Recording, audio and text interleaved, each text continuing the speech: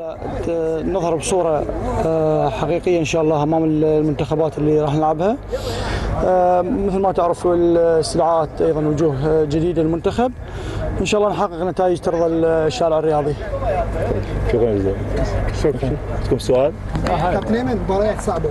الجمهور يعول عليكم كلاعبين محترفين هذه المباريات. أكيد. آه، شوف في كل المباريات اللي نلعبها إحنا صعبة. مثل ما تعرف آه، تلعب ضد المنتخب المكسيك والاكوادور وفنزويلا وكوستاريكا. أكيد راح يكون عاتق على اللاعبين جميعا. أن يظهروا بصورة صحيحة آه، نطلع إن شاء الله نحقق اللي يريده الكادر التدريبي آه، لتحقيق النتائج الإيجابية إن شاء الله. بالنسبة للمباريات مباريات على مستوى عالي إحنا نحاول نقدم اللي علينا. بالنسبة يعني نريد أداء أكثر من النتيجة الصراحة. يعني إحنا يعني المنتخب العراقي تدري آخر فترة يعني يمر ب- بأمور يعني و يعني لاعبين جدد. جدد وإن شاء الله نحاول نقدم اللي علينا والباقي من رب العالمين. شكرا جزيلا. حبيبي شكرا. أحمد آه، تفضل تفضل أحمد مركز مدافع يسار.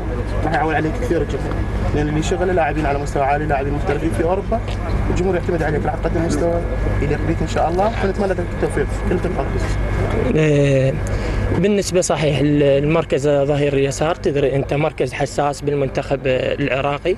وإن شاء الله أحاول أقدم كل ما أملك من طاقة وبالنسبة للمنتخب العراقي شرف لي إن شاء الله أملك كل ما أملك أقدمه للمنتخب العراقي والتوفيق من رب العالمين. طبعا آه، العوده للمنتخب يعني هذا فد شيء يعني مميز لي لأن دل على المستوى اللي قدمته مع نادي الزوراء المباريات اللي جاية الأربع هي مباراة صعبة.